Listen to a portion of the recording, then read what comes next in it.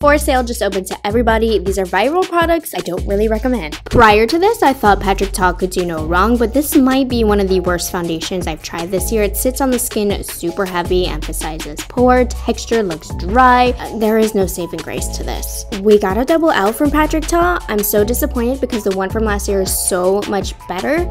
There's glitter in the cream colors, they have no pigment, and the highlight looks so terrible and thick my powder highlight broke and I don't even care. I wanted to like this, but it sits so heavy on the under eyes. I think they were trying to copy the Too Faced Born This Way concealer, but you're better off just getting the Too Faced. I try and try and try again with these, but I just can never seem to get an even coverage on my cheek.